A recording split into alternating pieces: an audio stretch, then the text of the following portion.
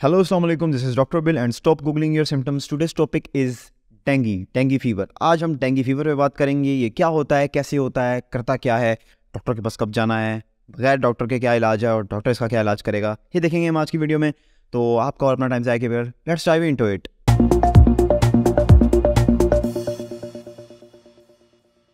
तो हम बात करना शुरू करते हैं डेंगी डेंगी बुखार की अलामत से की सिम्टम से। तो तेज़ और अचानक बुखार हो जाना जो कि 106 तक भी जा सकता है। 106 तक आपका बुखार जा सकता है। सर में आपके शदीद दर्द हो सकता है। शदीद आपको दर्द हो सकता है जोड़ों के अंदर और पट्ठों के अंदर आपके। जैसे आपकी, आपको ऐसे आपको हड्डियों में ऐसा दर्द होगा कि जैसे आपको अंदर से कोई बंदा हथौड़े मार रहा है। अक्सर आप जो डेंगी का पेशेंट होगा उससे पूछेंगे तो आपको पता चलेगा कि दर्द की नोयत कैसी होती है डेंगी के अंदर। तो आपके स्किन के ऊपर निशान आ सकते हैं, स्किन रैश हो सकता है आपको और जो डेंगी सवियर हो जाता है तो सवियर डेंगी के अंदर पेट में दर्द हो सकता है और आपको शदीद उल्टी मतली हो सकती है और अक्सर आपने सुना होगा कि प्लेटलेट्स कम हो गई डेंगी की वजह से प्लेटलेट्स कम हो गई। प्लेटलेट्स क्या होती हैं? प्लेटलेट्स हमारे खून की एक ऐसी चीज़ है जो कि हमारा जब खून निकलता है तो उसे खून को हील करा देती हैं क्लोटिंग करा देती हैं मतलब खून को बंद कर देती हैं निकलना। तो जब प्लेटलेट्स कम करता है डेंगी तो उसकी वजह से आप ब्लीड कर सकते हैं अपने मसूड़ों से, अपने नाक से।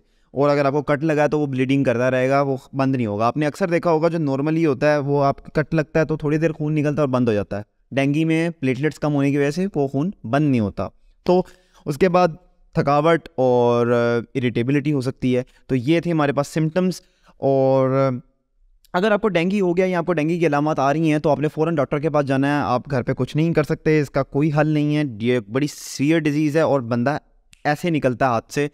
क्योंकि ये डिज़ीज़ आपको ब्लीड करा सकती है इंटरनली और बंदा अक्सर बंद जो पेशेंट्स होते हैं, जो ख़राब हो जाते हैं, वो मौत की तरफ़ भी चले जाते हैं।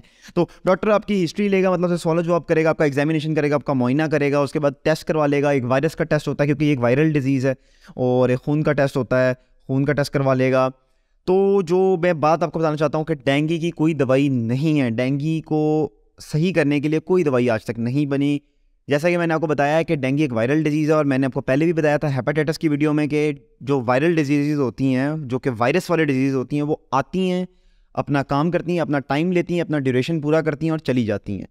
आपने इसके दौरान अपने आप को स्टेबल रखना होता है, अपनी सेहत संभाल के रखनी होती है, आपकी ज़्यादा बिगाड़ ना हो जाए, आपने अपने को सपोर्टिव ट्रीटमेंट रखना होता है। मतलब मतलब आपने अपने आप को रेस्ट देना है जो कि पानी खुराक वगैरह पूरी रखनी है निगहदाश्त में रहें हॉस्पिटल में एडमिटेड रहें और बस डेट से टू टू सेवन डेज़ के अंदर इसका ड्यूरेशन मोस्टली ख़त्म हो जाता है टू टू सेवन डेज़ में। दो से सात दिन के अंदर इसके जो अलामत हैं वो ख़त्म हो जाती हैं।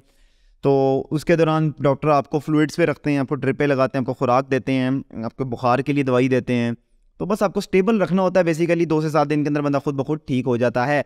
और अगर वो ख़राब हो जाए तो फिर आ, उन खराबियों को भी हम सही करते हैं, जिस तरह प्लेटलेट्स कम हो जाती हैं तो प्लेटलेट्स ठीक करते हैं, ज़्यादा मसला हो जाए, जो उसको ठीक करते हैं। तो दवाई कोई नहीं है तो इसका सपोर्टिव ट्रीटमेंट है। सो हाउ टू प्रिवेंट आपने बचना कैसे है? मैं आपको सिर्फ़ दो वक्त बताऊँगा, जिसमें आपने अपना ख्याल रखना है तो आप डेंगी से, जो डेंगी होने के चांसेस होंगे, वो 90 परसेंट कम हो जाएँगे आपके। क्योंकि डेंगी अगर एक दफ़ा हो गया, उसकी तो दवाई नहीं है। तो आप डेंगी से बच जाएँ तो ये सबसे अच्छी बात है। तो दो चीज़ें क्या हैं? एक आपने सुबह जब फजर का टाइम ख़त्म हो रहा होता है, जब सूरज निकल रहा होता है, तब आपने बाहर नहीं निकलना। या अगर आप बाहर निकलते हैं तो मोसपैल लगाएँ और कपड़े पूरे पहने, मच्छरों से बचना है। और एक आपने जब मगरिब का वक्त होने वाला होता है, जब सूरज ढल रहा होता है, तब आपने बाहर नहीं निकलना और मच्छरों से बचना है। इन दो टाइम्स पर जो मच्छर है, जो कि डेंगी का मच्छर है, जो डेंगी वायरस को हमारे अंदर डालता है, इन दो टाइम्स पे ही काटता है। यूजली नाइन्टी परसेंट टाइम्स वो इन दो टाइम्स पे काटता है आपको।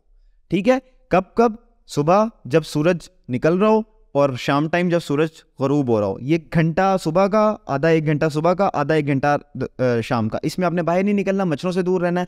वो मच्छर आपको नहीं काटेगा तो आपको किसी जगह से और डिज़ीज़ ये नहीं लग सकती। ये बीमारी आपको मच्छर से ही लगेगी, अगर मच्छर में डेंगी होगा। तो डेंगी का मच्छर इन दो जगहों पे काट, इन दो टाइम्स में काटता है। इन दो टाइम्स में एहतियात करें। आप डेंगू से बचे रहेंगे। मच्छरों से दूर रहना है मोस्पल का इस्तेमाल करें पूरे कपड़े पहने और घर के दरवाजे खिड़कियाँ बंद रखें तो आप मच्छरों से दूर रहेंगे तो आप डेंगू से भी दूर रहेंगे। सो so, ये थी आज की वीडियो। अगर आपके आज की वीडियो पसंद आई है और यूज़फुल लगी है तो मेरे चैनल के ऊपर बाकी भी वीडियोज़ हैं उनको ज़रूर चेकआउट कीजिएगा चैनल को सब्सक्राइब कीजिएगा और थम्सअप दीजिएगा आज के लिए इतना ही। Thank you so much see you in the next video